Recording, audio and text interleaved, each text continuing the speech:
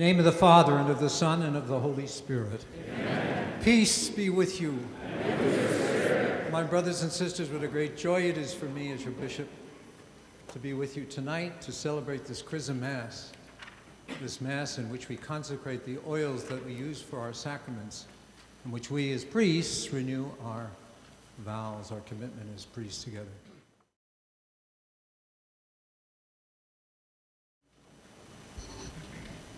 A reading from the book of the prophet Isaiah. The Spirit of the Lord God is upon me, because the Lord has anointed me.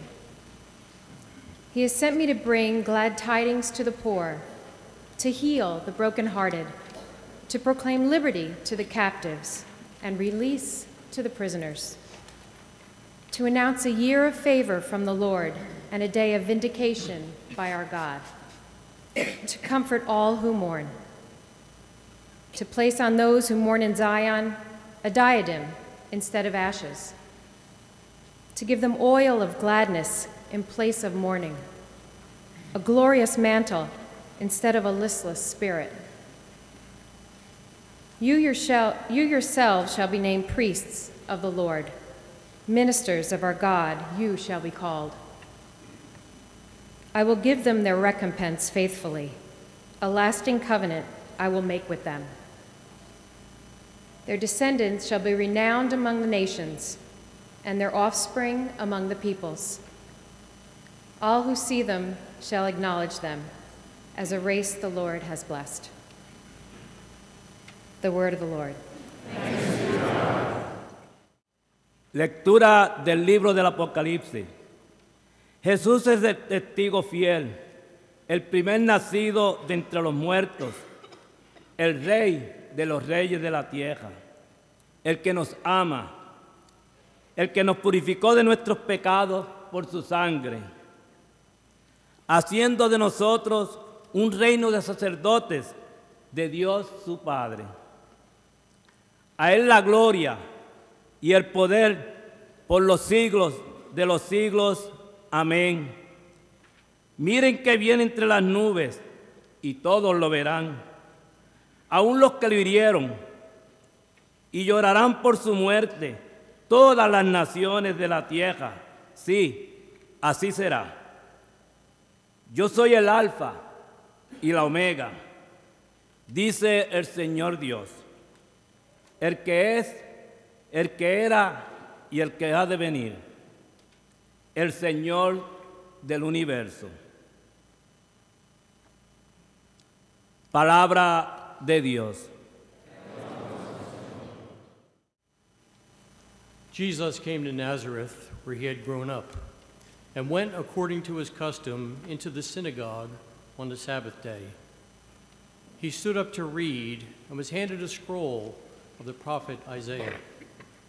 He unrolled the scroll and found the passage where it was written The Spirit of the Lord is upon me, because he has anointed me to bring glad tidings to the poor. He has sent me to proclaim liberty to captives and recovery of sight to the blind, to let the oppressed go free, and to proclaim a year acceptable to the Lord. Rolling up the scroll, he handed it back to the attendant and sat down. And the eyes of all in the synagogue looked intently at him. He said to them, Today, this scripture, passage is fulfilled in your hearing. The Gospel of the Lord. You, Lord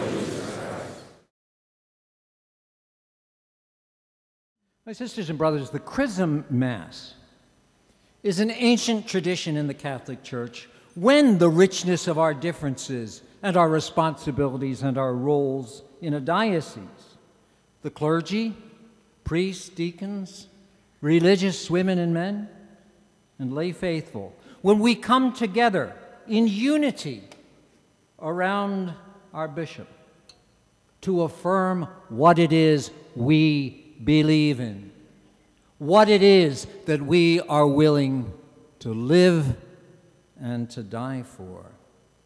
This occasion, the occasion of the Chrism Mass, has meaning for all of us, but especially for those who are ordained priests. Those ordained to the priesthood, please stand.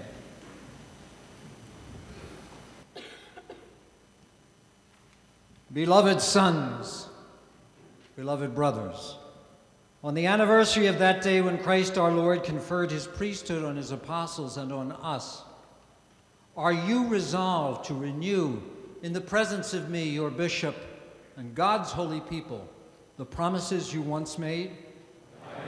Are you resolved to be more united with the Lord Jesus and more closely conformed to him, denying yourselves and confirming those promises about sacred duties toward Christ's church, which, prompted by love of him, you willingly and joyfully pledged on the day of your priestly ordination?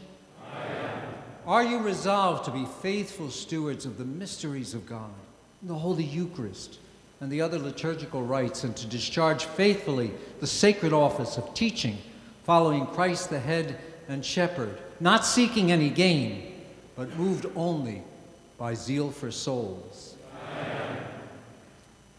Are you, my dearest sons and daughters, are you willing to pray for your priests that the Lord may pour out his gifts abundantly upon them and keep them faithful as ministers of Christ, the high priest, and so that they may lead you to him who is, the, who is the source of salvation, we pray. Christ, hear us. And please pray also for me that I may be faithful to the apostolic office entrusted to me in my lowliness, that in your midst I may be made day by day a living and more perfect image of Christ, the priest, the good shepherd, the teacher, and the servant of all. We pray.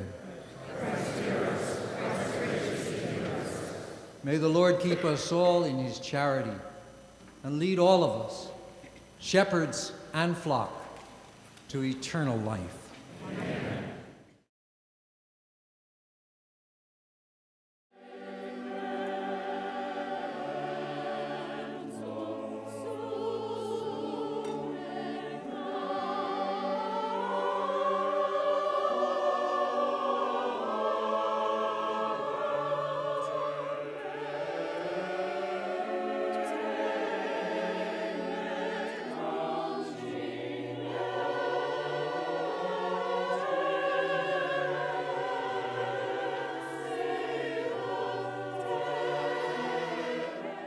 Therefore, Lord, we pray graciously accept this oblation of our service and that of your whole family.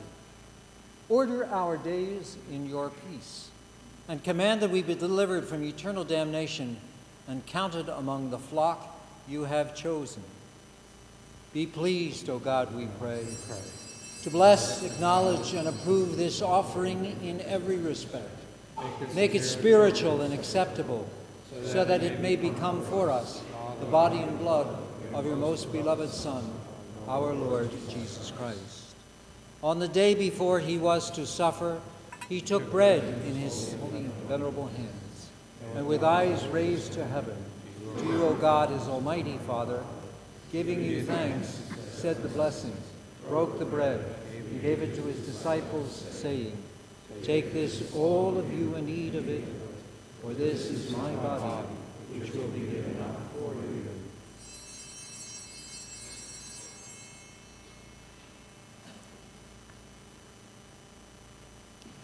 In a similar way, when supper was ended, he took this precious chalice in his holy and venerable hands, and once more giving you thanks, he said the blessing, gave the chalice to his disciples, saying, Take this, all of you, and drink from it, for this is the chalice of my blood, the blood of the new and eternal covenant, which will be poured out for you and for many for the forgiveness of sins. Do this in memory of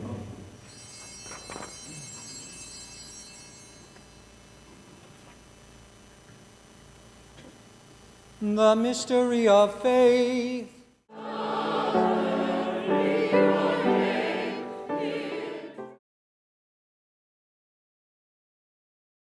God of all consolation, you chose and sent your Son to heal the world.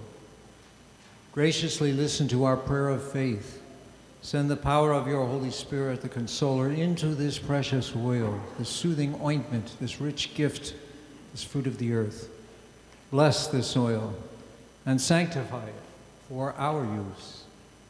Make this oil a remedy for all who are anointed with it. Heal them in body and soul and in spirit, and deliver them in every affliction. We ask this through our Lord Jesus Christ, your Son, who lives and reigns with you in the unity of the Holy Spirit, one God, forever and ever. Amen. Lord God, protector of all who believe in you, bless this oil and give wisdom and strength to all who are anointed with it in preparation for their baptism. Bring them to a deeper understanding of the gospel and help them to accept the challenge of Christian living and lead them to the joy of new birth in the family of your church. Through Christ our Lord. Amen.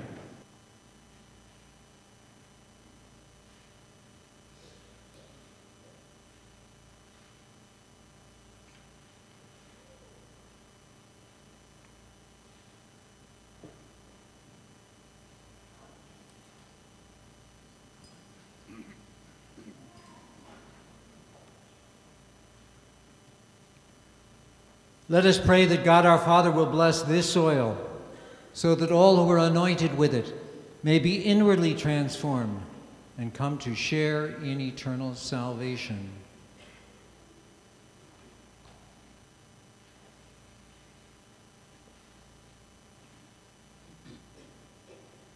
Father, we thank you for the gifts you have given us in your love. We thank you for life itself and for the sacraments that strengthen it and give it fuller meaning. In the Old Covenant, you gave your people a glimpse of the power of this holy oil. And when the fullness of time had come, you brought that mystery to perfection in the life of Jesus, your Son.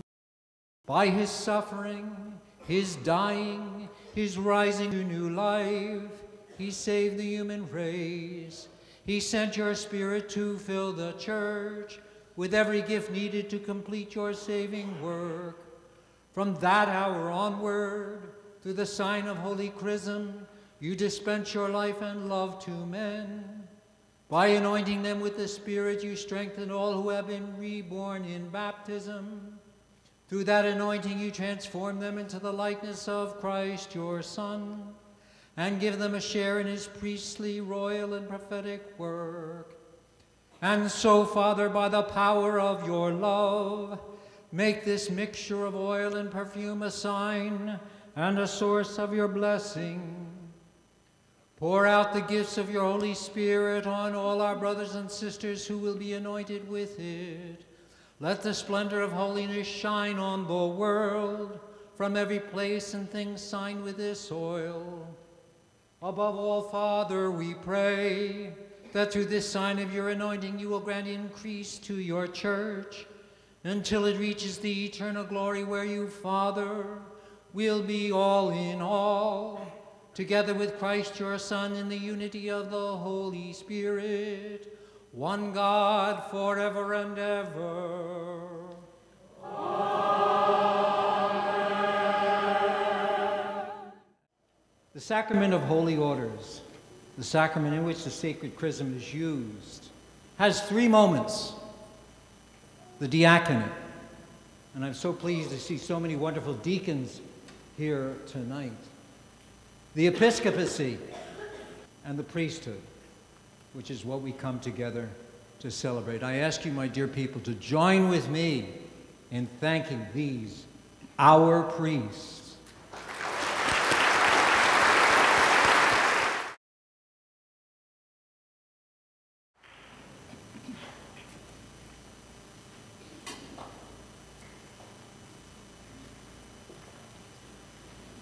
The Lord be with you. Blessed be the name of the Lord. Our help is in the name of the Lord. May Almighty God bless you, the Father, the Son, and the Holy Spirit. Amen.